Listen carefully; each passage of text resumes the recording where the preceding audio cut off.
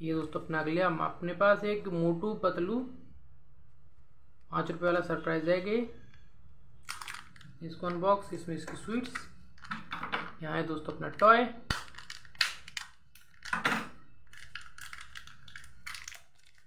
इसमें निकली अपनी एक फुटबॉल वाली विसल ये देख सकते हैं दोस्तों आप।